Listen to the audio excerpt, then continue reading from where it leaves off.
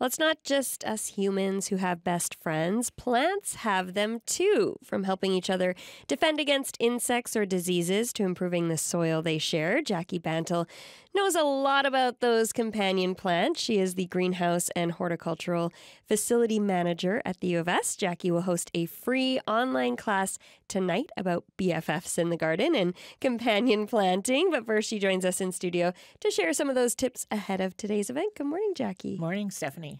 Okay, so why do some plants grow better together than others? Oh, that's a great question. Um, why do some people like other people better than others? um, I, I, don't know if science has actually figured that out, but it just we mm. just notice that that sometimes plants do better, yeah, next to each other. Some plants actually will. Um, give off some chemicals. Uh, it's been shown in the past that other plants don't like. So, mm-hmm. like for example, walnut trees will do that. Uh, the roots of walnut trees might do that. Oh, yeah. So, but yeah, it's it's kind of interesting how that happens. Those are yeah. like the introverted plants that are like, no, I need right. my own space.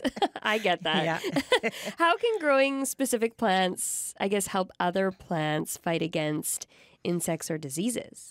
Well, in some cases, so for example, um, lots of people have heard about marigolds, right? And you have this marigold, the marigolds tend to repel some insects. And I don't know if it's the scent of the marigolds or something, but mm-hmm. if you surround, uh, put marigolds in your garden or surround other plants with marigolds, the insects tend to stay away. So that happens. Um, another uh, thing is that uh, if you have problems with um, well, and I'm not sure because I haven't tested this thoroughly yet, but um, if you put mint or peppermint or something like that amongst your cabbage and broccoli plants, it's supposed to repel uh, the cabbage butterflies. Oh. Yeah, which is uh, obviously a big problem in Saskatchewan. We have those because of all our canola crops. But mm. yeah, so um, that's how it works. So somehow the plants give off something, some kind of scent. Uh, garlic plants are supposed to repel in certain insects as well. So intersperse them in your garden, and that's supposed to help. Okay. Now, I mean, some people might be familiar with the three sisters corn, right. Beans, and squash. Right. Why do those three grow so well together? Well, what happens is corn loves to have uh, a lot of nitrogen. Beans are part of the legume family, mm-hmm. and legume crops actually fix nitrogen from the environment. So if you plant beans next to corn, it's grabbing nitrogen out of the air and then putting it in the soil for the corn.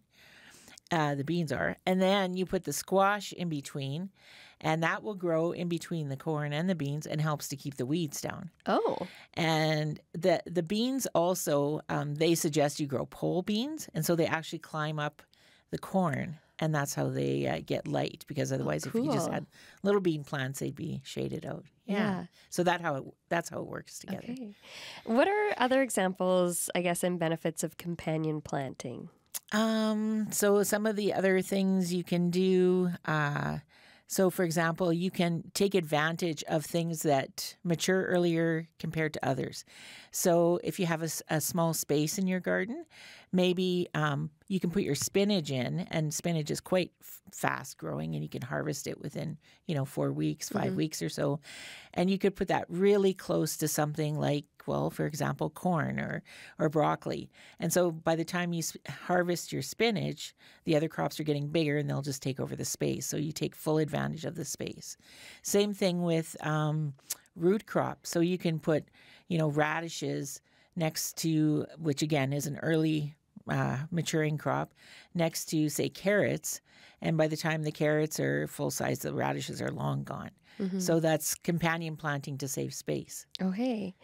What about cover crops? What are those? So, cover crops are. Um, it's kind of new to Saskatchewan, but they've been using them down in Ontario a lot. And I think it's because they have a longer season. But the idea is that you put this crop in and you never actually are going to harvest it or eat it. Oh. Um, you're just going to work it back into the soil. So it's actually rejuvenating the soil. So, for example, um, if I decided, well, let's say I grew a whole garden of spinach and that's all I'm growing in my garden. Mm-hmm. So the mm-hmm. spinach is done after, you know, six weeks or eight weeks. And so then I put in maybe something like a winter wheat crop which is I don't want it to form wheat or grow, but you're just making this green space and then you work it into the soil.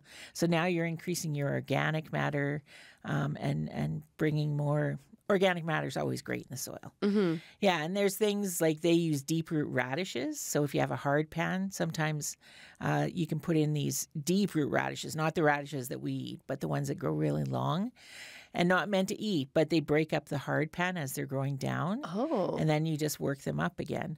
Um, buckwheat is another one. We don't grow buckwheat here because our season really isn't long enough, but we could grow it if we're just using it as a cover crop. right. And it will actually free up calcium in the soil. Interesting. So yeah, so there's so the cover crops, like I said, you don't. The plan isn't to eat them or harvest them; it's just to work them back into the soil. What about some examples of, you know, veggies or flowers or even herbs that do not grow well together? Um, that is a good question. Gee, so things that are competing um, for uh, for uh, the same kind of thing. So, for example, corn and potatoes, they both like high nitrogen. Mm-hmm. So if you put them side by side, neither one's going to do really well because they're trying both trying to get this nitrogen. So um, other things too, if you grow a lot of crops that are very similar. So let's say you put broccoli next to cabbage, next to cauliflower in a big block.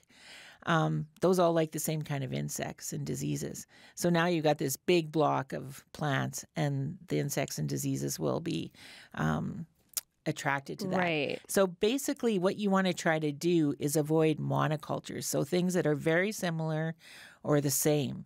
So, for example, our lawns, okay? Um, we just have uh, just straight grass in our lawns, and it's it's difficult to um, to keep the diseases and insects because you have this big plate of uh, thing something that is the same, and the insects can see it and they love it. Right. Appetizing. Yeah, yeah.